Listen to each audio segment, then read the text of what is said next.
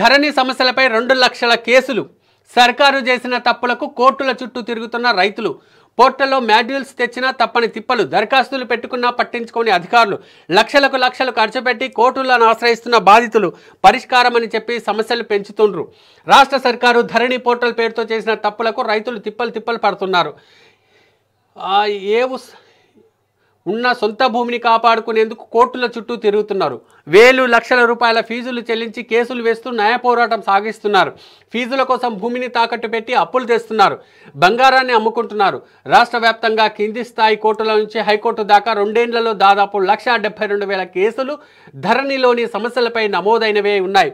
ఇవి ప్రభుత్వం దృష్టికి వచ్చిన కేసుల సంఖ్య మాత్రమే. ఇంకా దృష్టికి రానివి మరో ముప్పై వేల వరకు ఉంటాయని ఆఫీసర్లు చెప్తున్నారు.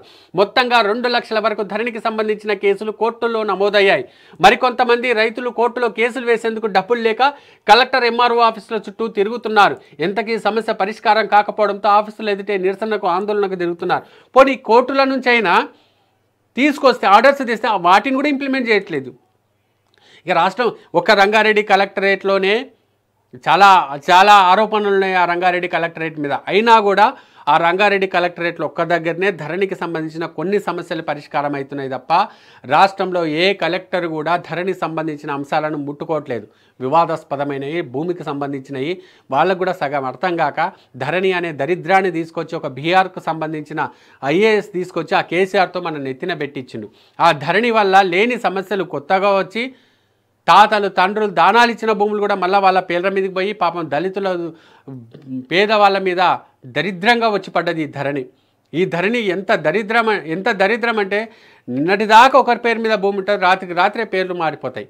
రాత్రికి రాత్రికే పేర్లు మారిపోతాయి. హైదరాబాద్ ఉన్న చాలా పరిసరాల ప్రాంతాల్లో కూడా ఇదే పరిస్థితి వచ్చింది. సో ధరణి అంటేనే కలెక్టర్లు కూడా భయపడ్డ భయపడుతున్నారు. కలెక్టర్లు కూడా వీటి జోలికి పోతలేరు.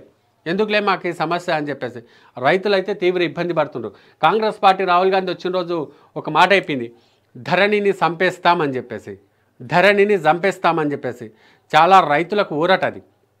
రైతులకు ఊరట ధరణిని చంపేస్తామని. అప్పుడు ఆ వీఆర్ఓని పట్టుకొని ఎంఆర్ఓ ఆఫీస్కి పోతే కొంత పని అయ్యేది పాపం రైతులకు. అప్పుడు కూడా డబ్బులు ఇవ్వాల్సిందే.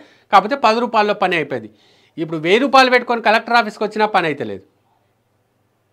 సో కేసీఆర్ ఏం చేసిండు? రైతులని ఊళ్ళలో పాపం ఏదో పని చేసుకొని ఇది చేసుకునే వాళ్ళని తీసుకొచ్చి ఈరోజు కలెక్టర్ల ఆఫీసుల చుట్టూ దింపుతున్నాడు. వాళ్ళ భూములు వాళ్ళకి రావడం కోసం. సో ధరణిని చంపేస్తామన్న కాంగ్రెస్ పార్టీ వ్యాఖ్యలను స్వాగతించాలి ధరణిని చంపేయాలి.